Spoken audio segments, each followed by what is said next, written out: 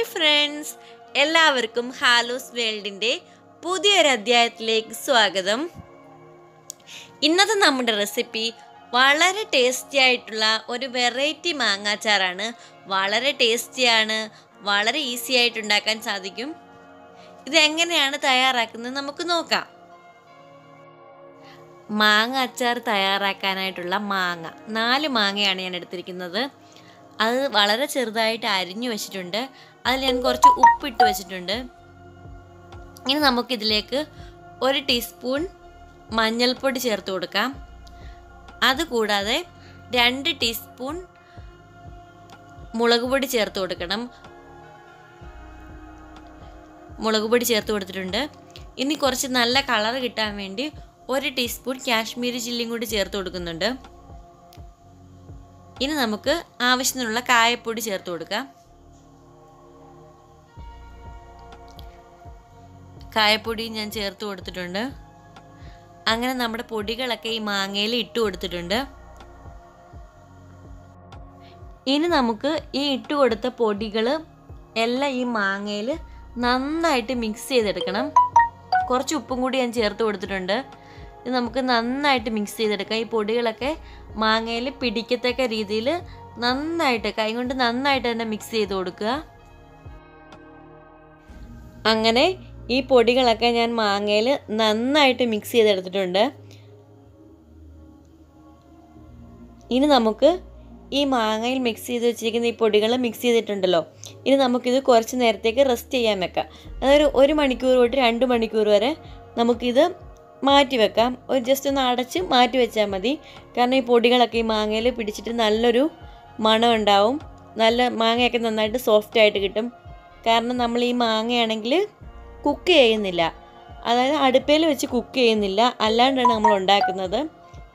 അതുകൊണ്ട് ആണ് നമ്മൾ ഇതിനെ റെസ്റ്റ് ചെയ്യാൻ വെക്കുന്നത്. ഇനി നമുക്ക് ഒരു പാൻ എടുത്ത് അടുപ്പിൽ വെച്ച് പാൻ നന്നായിട്ട് ചൂടായി വരുമ്പോൾ അതിലേക്ക് നല്ലെണ്ണ ഒഴിച്ചു കൊടുക്കാം ഈ മാങ്ങാച്ചാറിന് ഞാൻ നല്ലെണ്ണയാണ് ചേർക്കുന്നത്.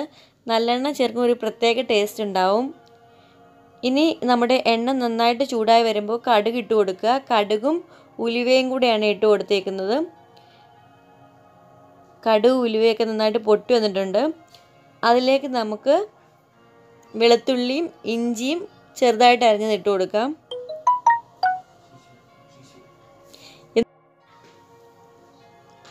ഈ വെളുത്തുള്ളിയും ഇഞ്ചിയൊക്കെ എണ്ണയിൽ നന്നായിട്ട് മൂത്ത് വരുന്നുണ്ട്. ഇനി ഇതിലേക്ക് ഞാൻ ഒരു ടീസ്പൂൺ കായപ്പൊടി ചേർത്ത് കൊടുത്തിട്ടുണ്ട്. അതുപോലെ ഒരു നുള്ള് മഞ്ഞൾപ്പൊടി ചേർത്ത് കൊടുത്തിട്ടുണ്ട്. ഇതിനൊരു കളർ വരാൻ വേണ്ടിയാണ് ചേർത്ത് കൊടുത്തേക്കുന്നത്. ഒരു നുള്ള് മുളക് പൊടിയും കൂടി ചേർത്ത് കൊടുത്തിട്ടുണ്ട്. നമ്മൾ ഓൾറെഡി ഈ പൊടികളെല്ലാം തന്നെ നമ്മുടെ മിക്സ് ചെയ്ത് വെച്ചിരിക്കുന്ന മാങ്ങയിൽ ചേർത്തിട്ടുണ്ട്. അതുകൊണ്ട് ഇത് ചേർത്തില്ലെങ്കിലും കുഴപ്പമില്ല.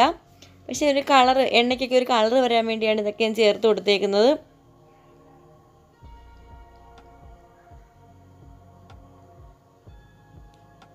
അങ്ങനെ നമ്മുടെ വെളുത്തുള്ളിയൊക്കെ നന്നായിട്ട് മൂത്ത് വന്നിട്ടുണ്ട്. ഇനി നമുക്ക് ഇതെല്ലാം നമ്മുടെ മിക്സ് ചെയ്ത് വെച്ചിരിക്കുന്ന മാങ്ങയിലേക്ക് ചേർത്ത് കൊടുക്കാം. ഞാൻ ചേർത്ത് കൊടുത്തിട്ടുണ്ട്. ഇനി നന്നായിട്ട് ഒന്നും കൂടി മിക്സ് ചെയ്തെടുക്കുക.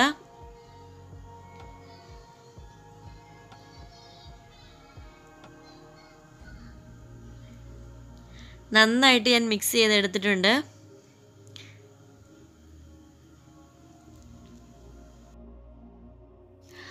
അങ്ങനെ നമ്മുടെ വളരെ ടേസ്റ്റിയും വെറൈറ്റിയുമായിട്ടുള്ള നമ്മുടെ മാങ്ങാച്ചാർ ഇവിടെ റെഡി ആയിട്ടുണ്ട്.